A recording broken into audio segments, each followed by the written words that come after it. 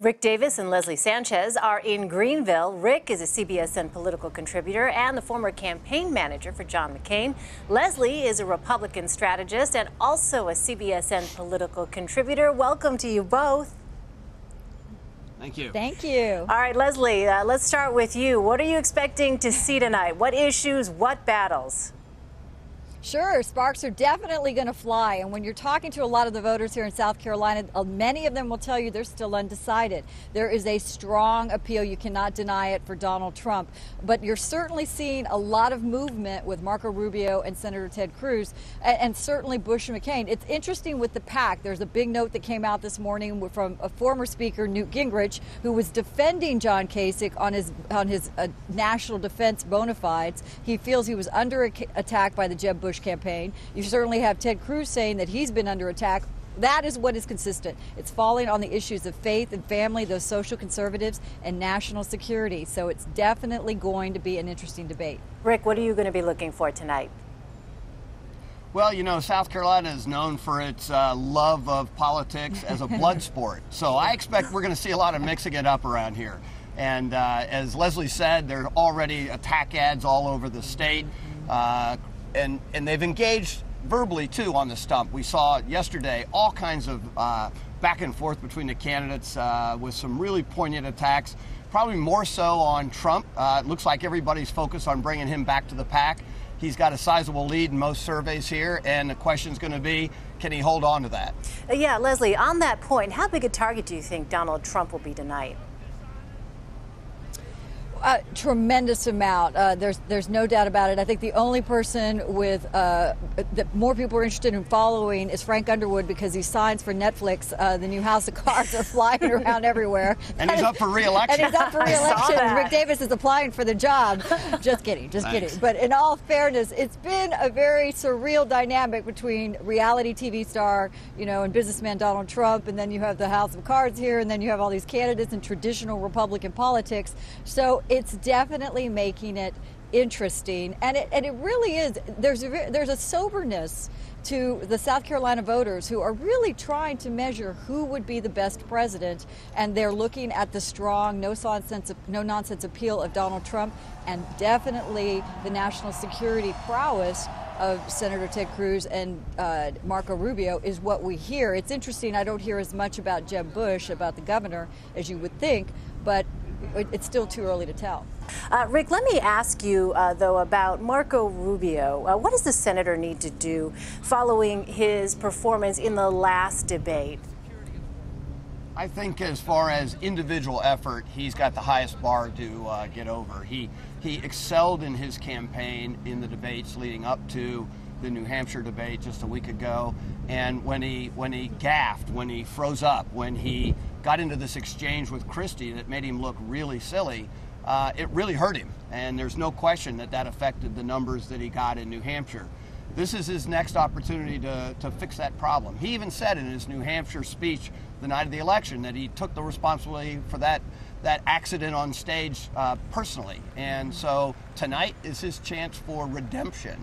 Can he redeem himself on the stage when everybody else is throwing elbows and mixing it up? It's going to be a hard environment to do that, but he's done well in previous debates. So the question is, how's he going to do here? His biggest challenge, though, is to not look like a robot. That was the criticism. He's very tightly scripted and does extremely well with it.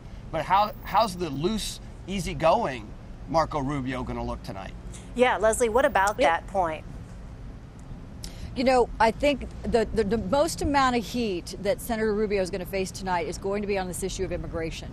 Again, uh, a lot of individuals that we hear say they like Donald Trump because he looks like he wants to solve this immigration problem. If you think back to New Hampshire, that did not come up as a top issue. It was more dealing with jobs and the economy, uh, and you know, certainly the idea of taking on Washington. Immigration is going to be key, and there is this this flip flop uh, label with Senator Rubio, so he's going to have to address that. It's going to be coming in very hot and very uh, heated from Senator Cruz on that issue. That's where he's built a lot of his campaign, and Trump is going to ride that wave. I think that's what's going to be interesting about it on that particular issue.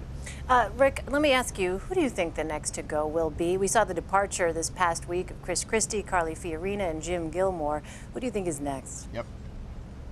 Well, you know, it depends on the outcome Saturday, uh, a week from today.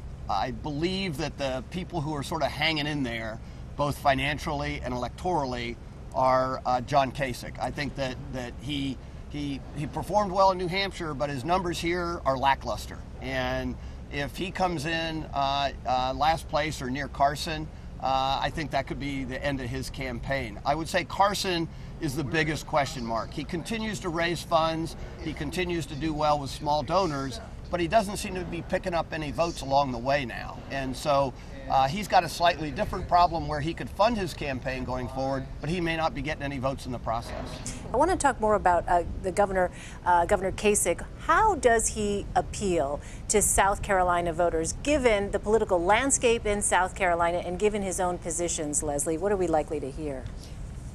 You know, it's interesting because Governor Kasich uh, has, has been kind of on his back, uh, his back uh, legs kind of pushed back and, and, having to defend his national security uh, record, which is really not a place I think he expected to be. When you have to bring out the, the former winner of the 2012 South Carolina GOP primary, Newt Gingrich, to defend your record when you were working in Congress, uh, that's not really the best use of your resources. He's also been focused on other states. He knew South Carolina was not a place he was going to perform well, but he does have a good record on national security, and it's not an area uh, of weakness he thought he'd have to see. I think what's also interesting, you're seeing a lot of tweets and social media coverage from operatives within the Bush campaign or the Bush apparatus saying, you know, it's time to get out. Let's put the momentum behind Governor Bush. So there's definitely political pressure, a little bit of dirty tricks, um, and, and just kind of the the onslaught of what becomes a competitive primary in South Carolina. So it's not what they expected. Yeah, Lane, I, I would say uh, uh, to reinforce what Leslie is saying, uh, South Carolina has the largest per capita retired military uh, individuals in the country by a state. So they like their national security red meat. And so that's a big debate here around the state. Who's going to give us security? Who's going to fight ISIS? Who's going to make us secure?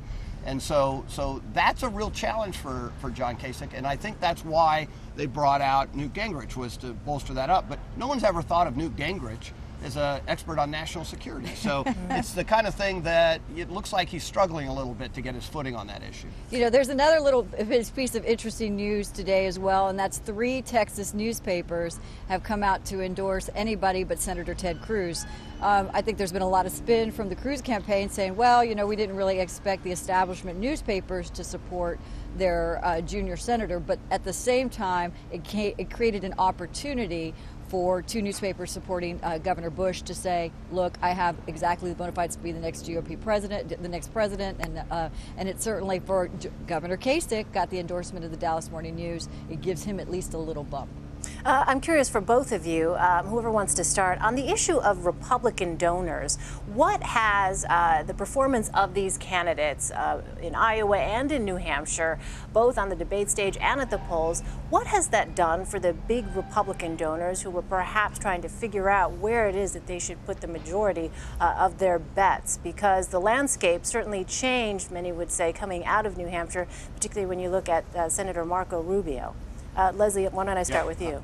Or whoever wants to start. Sure. I mean, I would say immediately following the New Hampshire primary, when there was new life uh, back into Governor Kasich's campaign, you get notes from some big bundlers, of individuals in the Republican Party who raised tremendous amount, tremendous amounts of money, such as Fred Davis, who came out and said, "Look, uh, there's an opportunity here. Let's ride it. I know you've been waiting." It was all of those folks that, that Rick and I had talked about that were on the fences, wanted to support Governor Kasich, just didn't see the momentum. Those emails were firing out to look for those dollars. There have been many individuals sitting on the sidelines as well within Governor Bush's campaign that just didn't know whether they could be released, as they said, to go support other candidates who had momentum. I think right now everybody's just staying put. I think Bush was able to secure his donor base and they stayed. Uh, Marco Rubio has additionally picked up endorsements that help secure and create a little bit of momentum. Senator Ted Cruz has gone a different route, not necessarily with the endorsements, but with the individual small contributions and the party activists who are the ones who get out and vote. So it's a different strategy, different approach, but it's all about the money. Yeah, Lane, I, I agree. I think that there's a tremendous amount of dry powder uh, in the Republican establishment waiting to have someone emerge as a candidate that they can back.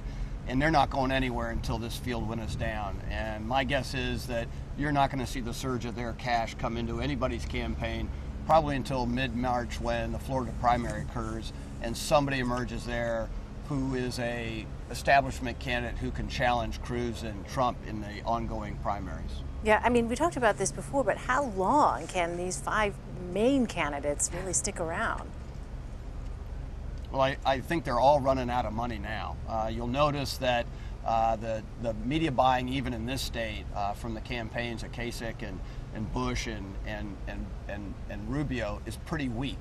And so uh, the question is going to be can they husband their resources, make it through uh, the March 1st to March 15th uh, primaries, all in these southern states, 13 different primaries, in order to get to a place where they can, they can have a clear win, a, a, a, state like Florida where it's winner take all and they can beat all comers. I, I really don't think you're going to see a consolidation until then because they have, they have enough money to make it to the next state, but they don't have enough money to really run robust campaigns, which frankly goes to advantage Trump and Cruz, who continue to have strong fundraising appeal from their bases, very loyal supporters, and they continue to uh, wage active campaigns in those out states.